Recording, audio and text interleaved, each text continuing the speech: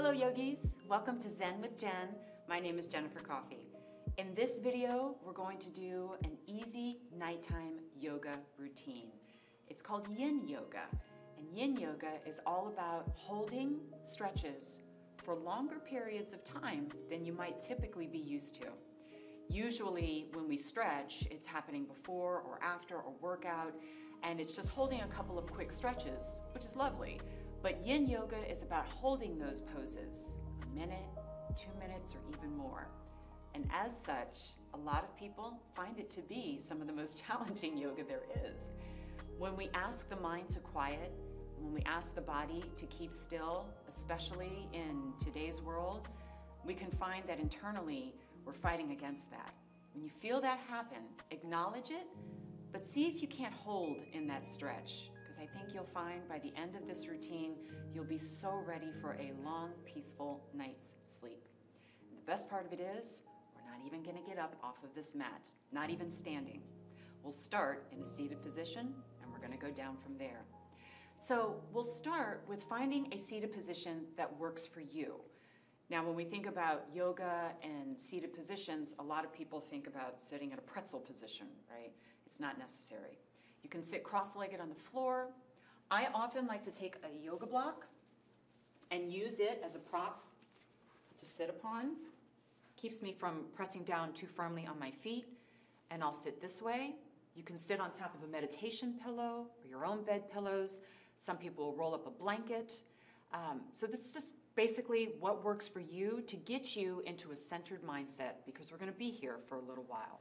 So I'll get back into a cross legged position. You find the seat that works for you. Palms can be on your knees, face up if you like. We're going to close our eyes and just begin to breathe in what is called a three part breath. Three part breath is a lot different than the breathing most of us do throughout the day because most of us are breathing from up here and usually in very shallow breaths, especially us ladies who are always trained to hold it in, right? Well, let's ease that. Start the breath in the belly, expand into the ribs, bringing it all the way up into the chest and shoulders, and then releasing from the top down. Let's try it together. Inhale, belly, ribs, shoulders. Exhale. Release shoulders, ribs, belly. Again, inhale. Exhale.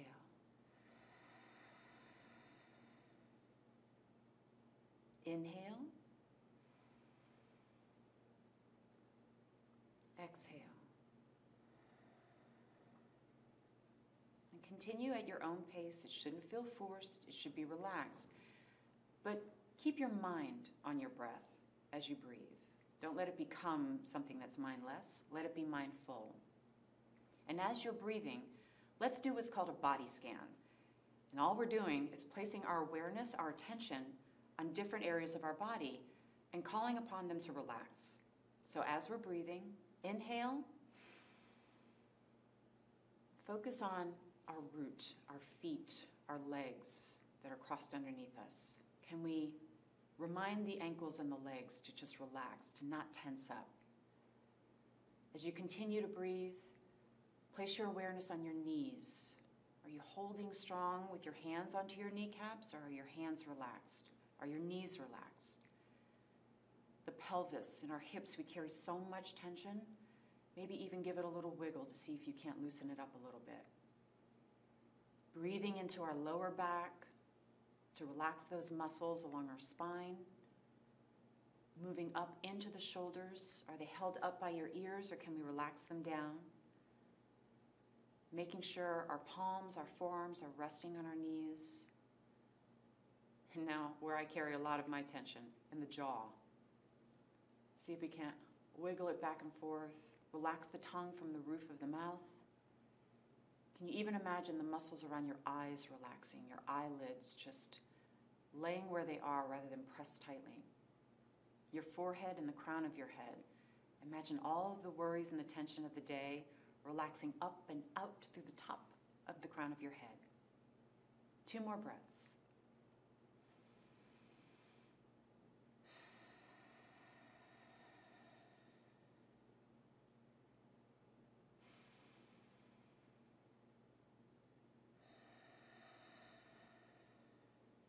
Good. Now, on the next inhale, let's reach our hands and arms up overhead. Take your right hand and grab your left wrist, not tightly, just holding it loosely, and then pull gently on your left arm, feeling that fantastic stretch all along the left side of your body. Not tilting or pitching your body all the way, keeping grounded, just until you feel a little bit of a pull on that muscle. And let's breathe two times.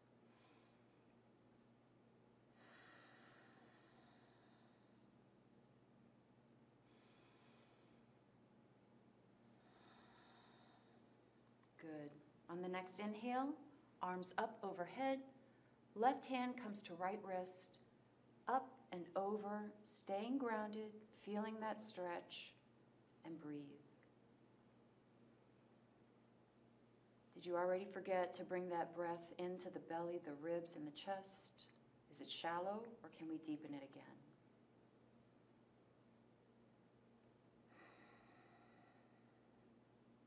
Good. Inhale, arms up. Exhale, bringing your arms down. Now, let's take the soles of our feet into what's called butterfly pose. It's kind of self explanatory when you see it, right? Now, I want to make sure everyone knows that there are different levels that we can get into butterfly pose. This one is always a challenge for me because of my hip flexibility, and it may be for you as well. So, if we need to bring our feet forward to have them touch together and a lot of space in between our feet and our pelvis, that is fine. The goal, of course, as always, is to give yourself just enough of a stretch that you feel it, but you're not straining. You don't feel pain, you don't feel tension. Just a little bit of that lovely pull and release. I like to place my hands on my feet.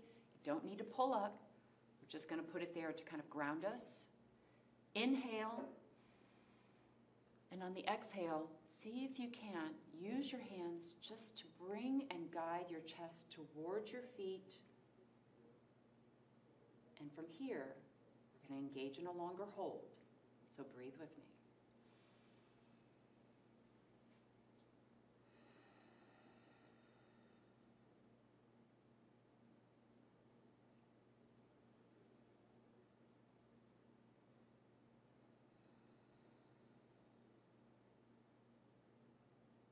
On each inhale, imagine bringing in life and energy and relaxation into wherever you're holding tension.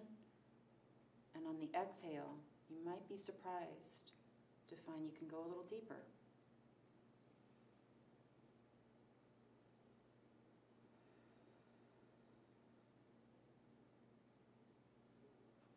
We spend so much of our day, so much of our lives closed in, right? Seated at a desk, seated in a car, walking forward. There's movement, but is there an openness to the movement? Yin yoga is about exploring the parts of our body that don't get to experience that openness.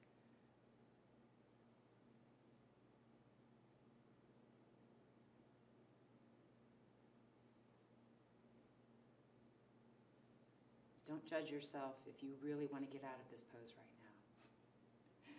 Especially with anything that asks openness of the hips You can definitely engage the mind. The mind is asking, why aren't we doing? Why aren't we moving? And the beautiful answer is, we don't have to. Two more breaths.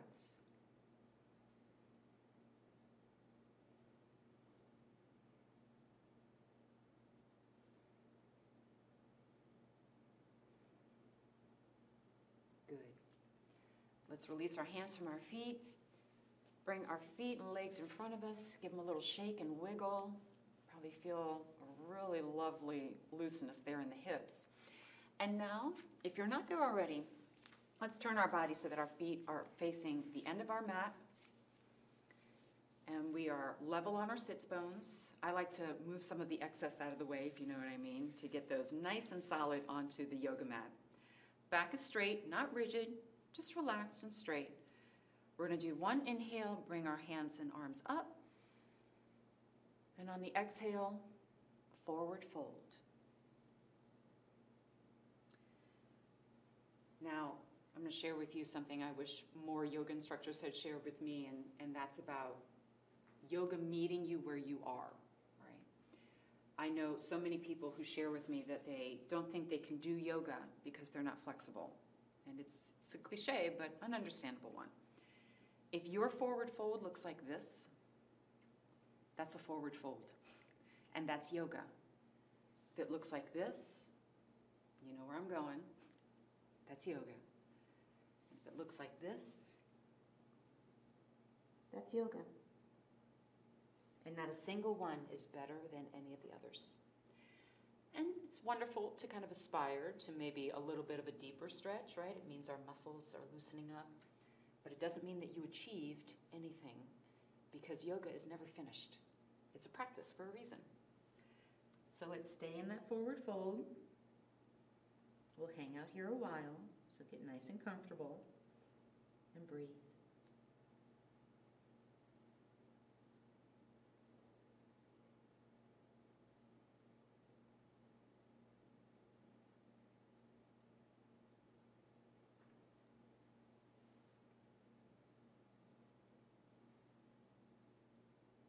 May have noticed when I began this video or any of the others that I address you as yogi.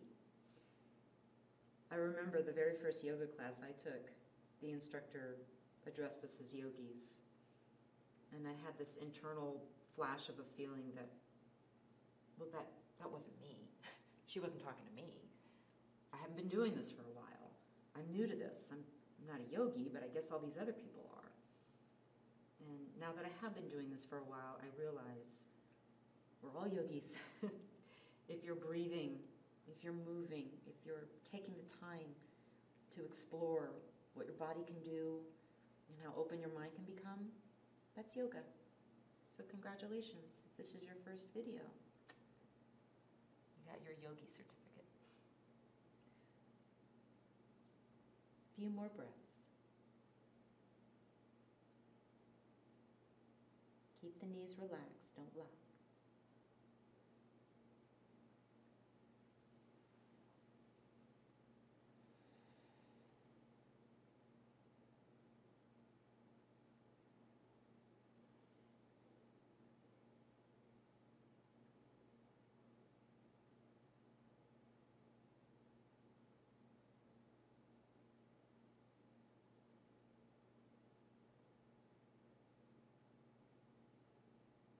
Good. On the inhale, let's slowly rise up. Again, give those legs a little shake, your shoulders if you need it. And now we'll face each other again, only this time we're going to bring our legs open to a V. And once again, whatever that V looks like for you, lowercase, uppercase, narrow, wide, is fine. Bring it to the point where, again, feels a little more open than you usually sit, but you're not straining. It's not about getting into a split. We're going to do a stretch on each side, right and left, and hold those poses as well. So from here, again, inhale, hands and arms up.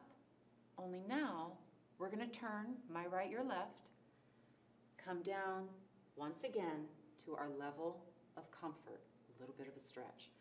This one again kind of a challenge for me. I've seen plenty of people who can come all the way down. This is me. If for you it's here, or here, that's fine. Let's not just put any pressure on our knee though. We want to keep that nice and soft. Inhale, and come on down.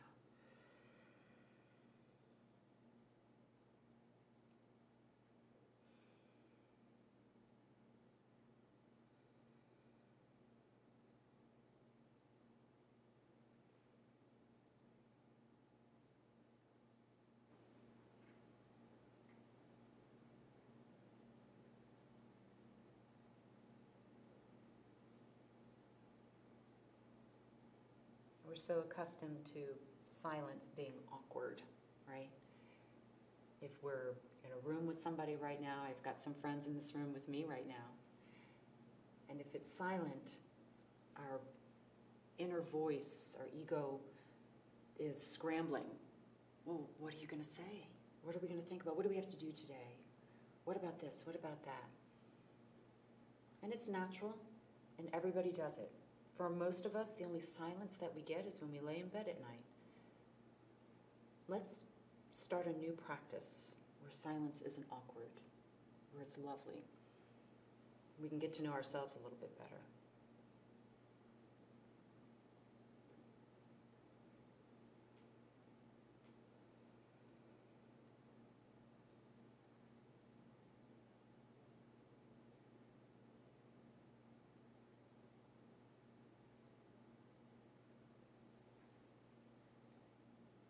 Just a few more breaths.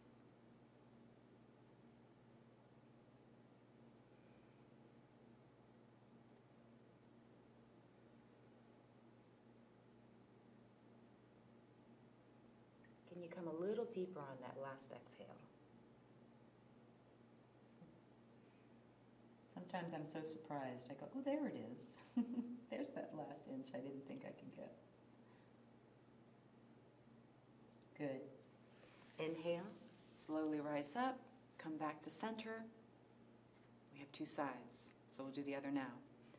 Inhale, hands and arms up. Turn my left, your right. Down we go. Now here's the, uh, the crazy part. You may find that one side's really, really flexible and the other is stiff as a board, right? Don't judge. It means one side of your body needs that stretch a little bit more. We all work with the dominant side. It's not just our hands. And so you might find that dominant side a little bit stiffer than the other. So let's inhale, exhale, come down just till we feel a stretch, and breathe.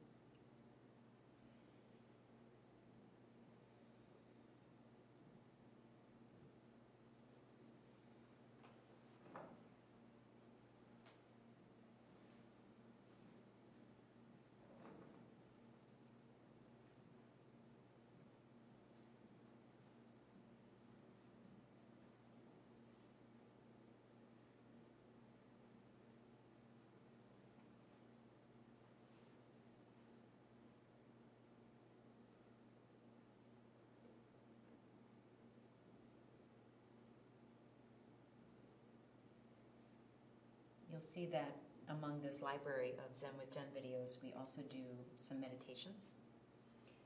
But I'd love to take this moment to share with you that this is a meditation right now, too. And so is walking. And so is reading. And so is prayer. And so is,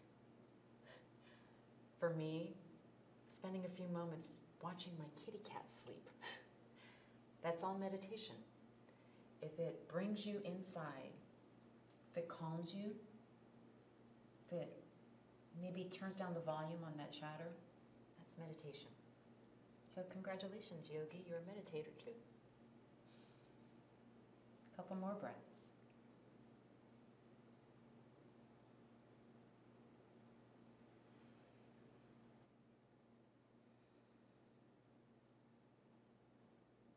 Good. Let's slowly rise up. Bring our legs back over to the end of our mat. Again, if you want to give those legs a wiggle, those hips are probably going, oh, hey now. There's a little openness I didn't have before, right? And now we're going to do a couple of gentle twists before we close out our practice. So from here, let's ease ourselves down onto our back. Bring our knees up as though we're doing that um, cat and cow that we did earlier, right? But in reverse. Let's bring our hands over our knees, give ourselves a lovely little goodnight hug. Bring our left leg out straight. Keep holding on to that right knee though. And let's take the left hand, guide that right knee down, shift your hips a little bit if that helps you get a little bit further towards the floor. Trying, if we can, to keep those shoulders level to the ground. The goal isn't to turn all the way on our side. We want to keep those shoulders nice and level. Straighten out the right arm so that it's kind of like a T position up here at the top of your mat. Turn your head to the side towards that right hand. And now we're in a lovely spinal twist. No need to pull the right leg too high up. We'll guide it down wherever we need. Do not need to bring the knee all the way down. In fact, if you like, you can take that yoga block or pillow that you have and rest it underneath. And we'll hold this stretch for a moment.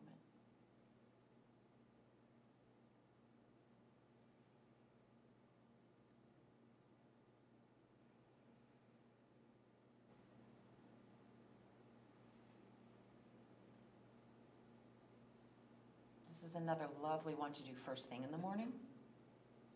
Since we've likely been laying in a single or a couple of positions throughout the night, giving yourself a lovely little twist in the morning. Kind of wring out some of the kinks that we may have accumulated.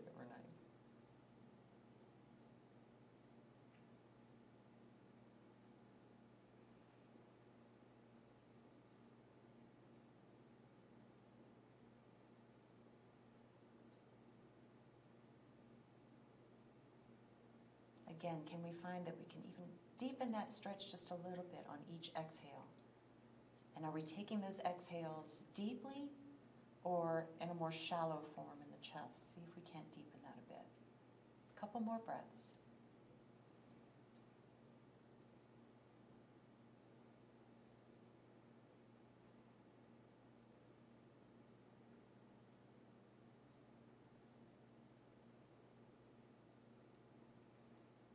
Wonderful. Let's come back to center.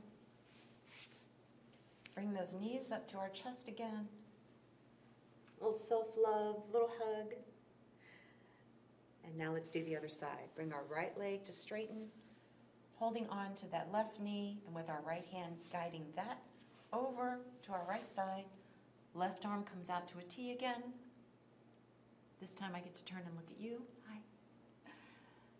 And let's do that stretch on this side.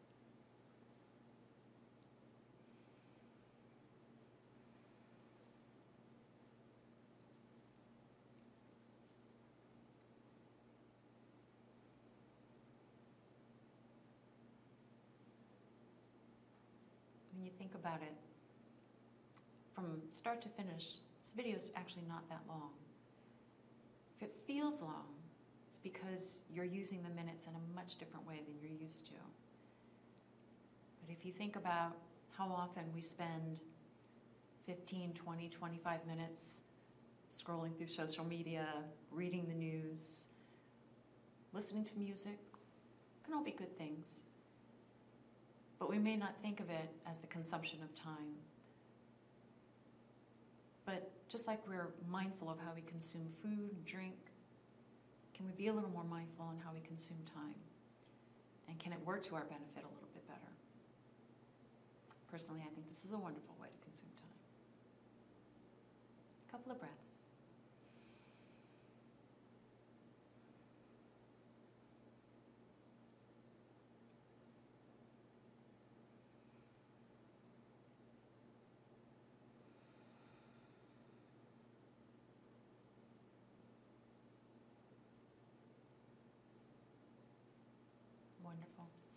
Let's come back to center. Just as a bonus, let's give ourselves one more hug, closing out the day, leaving behind anything that didn't serve us today, being grateful for everything that did, including our time together. We'll stretch out on the mat for a lovely brief rest to let our body take in all of those yummy stretches that we just did. Arms by your side, palms up if you'd like to receive some sweet dreams, palms down if you want to stay grounded, deep night sleep. Feet resting to the side. Few breaths here, just a minute or so in silence. Starting now.